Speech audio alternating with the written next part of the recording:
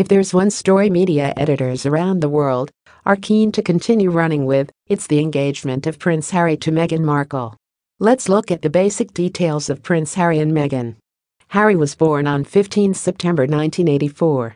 Meghan was born on 4 August 1981. Meghan encourages Prince Harry to think more. Harry has a Virgo sun sign, a moon in Taurus and Capricorn rising. As far as earthiness goes, he's probably as down to earth as anyone could be. His rising Capricorn makes him ambitious and very much a hands-on kind of person. In true Capricorn style, he takes his duties and responsibilities very seriously. One interesting fact about Harry's chart is the lack of air sign influence. Air signs are the zodiac's thinkers, innovators, communicators, and educators. They are the signs of Gemini, Libra, and Aquarius. Harry has Chiron, the planet of healing, in Gemini but his astrological makeup is predominantly earth, fire, and water. He, therefore, benefits from Meghan's air sign influence. Harry could be more of a doer than a thinker. It's possible Meghan encourages him to do lesses and think more at times. Venus and Pluto mean intense passion for Prince Harry and Meghan. Harry's Venus sign is Libra. He is therefore likely drawn romantically toward someone born under the sign of the scales.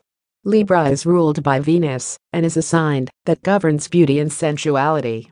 Therefore, Harry will have a strong attraction to someone exuding such qualities. His Venus placement conjuncts Meghan's Pluto. To put it mildly, this aspect speaks of potential for intense passion between them. Prince Harry and Meghan understand each other's emotional needs. Meghan is a Leo with a Libra moon sign. With four planets in Libra, she undoubtedly possesses many Libran qualities. Meghan's Venus sign, interestingly and coincidentally, is Harry's sun sign, Virgo. Meghan's Libra moon connects beautifully to his Chiron. Harry's moon connects superbly to her Chiron. This means they have exceptionally powerful, shared healing qualities. Both of them bring varying levels of healing to each other, in many ways.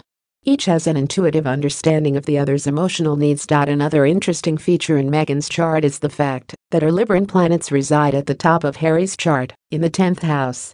This sector governs reputation and how the public sees him. He probably feels comfortable having her at his side when seen in public. He is likely keen for them to be seen as an inseparable team, working in tandem. Fortunately, Meghan's Saturn, the planet of duty and responsibility, resides in Harry's 10th house. This gives her a natural awareness and full understanding of his royal obligations. So far, all appears delightful and positive about their connection. Is there a downside? The Sun Neptune influence. A shared Sun Neptune aspect means Harry can be helpful with Meghan seen in the public eye or spotlight in ways she wants to be. At the same time, Meghan encourages Harry's imaginative or creative side to emerge more often. However, Neptune is, among many things, the planet of illusion. Therefore, much between them could be window dressing. They might not view aspects of each other and their relationship realistically. They could view their bond with rose tinted glasses, or be too quick to put each other on pedestals. The Uranus influenced astrology textbooks often portray Librans as wishy washy people who do anything to keep the peace or maintain equilibrium. In truth, many Librans enjoy creating chaos or controversy. This is particularly true when they're bored or weary from tediousness or routine.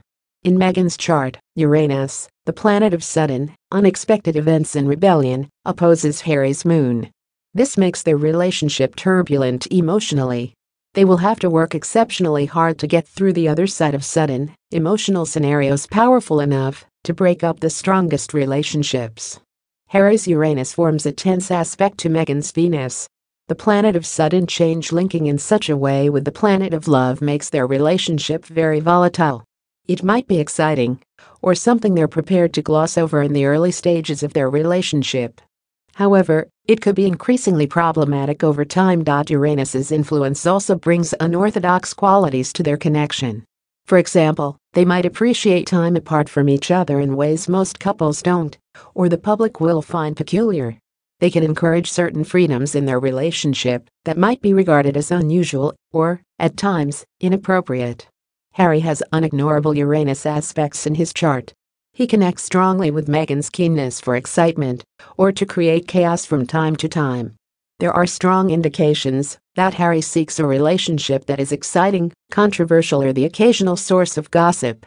Prince Harry and Meghan must balance harmony with volatility. Meghan has a strong Mars influence in her chart. The planet of energy, impatience, and impetuousness makes her extremely strong willed at times. She won't hesitate to stand her ground when put in a position to do so. This could make their relationship frustrating and intense. They'll need to learn to balance all that's harmonious with all that's chaotic and volatile between them. So, in summary, there is a wonderful and exceptionally strong connection between Harry and Meghan. However, we can't ignore the Neptune and Uranus influences. This is a relationship that can benefit strongly from both enjoying occasional time apart. Their personal circumstances might make this possible. Engagement, if it happens, will undoubtedly be exciting to begin with. However, the Uranus influence could drain any excitement soon afterward. This a relationship that doesn't connect well with routine or tradition. It needs spontaneity and an unusual amount of shared freedom. Together, they can overcome this disruptive influence. However, they'll need to be determined to channel Uranus's troublesome influence in ways that can strengthen rather than impair their bond.